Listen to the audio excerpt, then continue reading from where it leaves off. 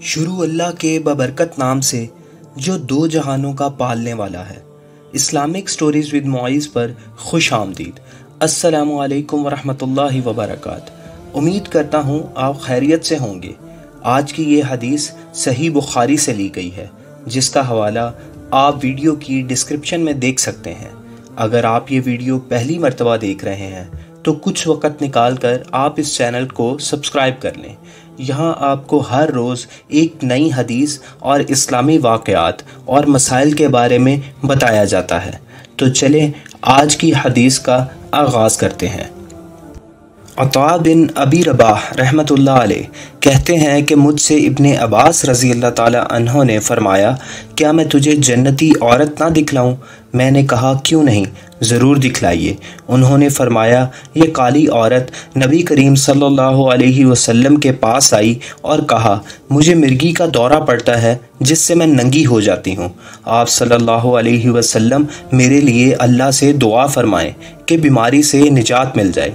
आप सल्लल्लाहु अलैहि वसल्लम ने फरमाया, अगर तू चाहे तो इस तकलीफ़ पर सब्र कर। इसके बदले तेरे लिए जन्नत है। और अगर तू चाहे, मैं अल्लाह से दुआ कर देता हूँ कि अल्लाह तुझे इस बीमारी से आफ़ियत दे दे। इसने कहा, मैं सब्र ही करती हूँ। ताहम दौरे के वक़्त मैं बरहना हो जाती हूँ।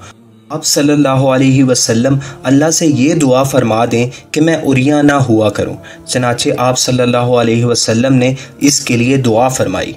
मुसलमान ख़तून को हर परेशानी और मुसीबत का मुकाबला सब्र से करना चाहिए। अल्लाह ताला सब्र करने से अजर अता फरमाता है और हालात बेहतर बना देता है, जबकि बेसब्री से दोनों जहानों में तकलीफ़ उठाना पड़ती है। इक्कीसवीं सदी की जदीद तलीम याफ्ता मुसलमान खातन अपनी शर्म हया का तकबुल इस काली खतून से करें। फिर इंसाफ से बताएँ कि वो क्या महसूस करती हैं। चौदह सौ वर्ष पहले की वो खतून अपनी बीमारी से ज़्यादा अपने जिसम के नज़र आने पर फ़िक्रमंद होती है। आज की औरत अच्छी खासी सेहतमंद होने के बावजूद अपने जिसम के नशीब फराज की नुमाइश के लिए फ़िक्रमंद है। दोनों में कितना फ़र्क है? हालाँकि दोनों अल्लाह और उसके रसूल सल्लल्लाहु अलैहि वसल्लम को मानने का दावा करती हैं। ज़रा सोचें तो सही कि इस स्याह रंग वाली औरत के जज्बा हया में हमारे लिए गौर फ़िक्र का कितना ही समान है। इस हदीस के साथ मैं आप सब देखने वालों से इजाज़त चाहता हूँ।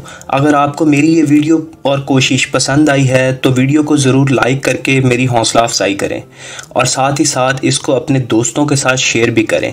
अगर आप चैनल पर नए हैं तो चैनल को सब्सक्राइब करके बेल के बटन को दबा दें, ताकि हर रोज़ नई आने वाली वीडियोज़ का नोटिफिकेशन आपके मोबाइल स्क्रीन पर आपको मिलता रहे।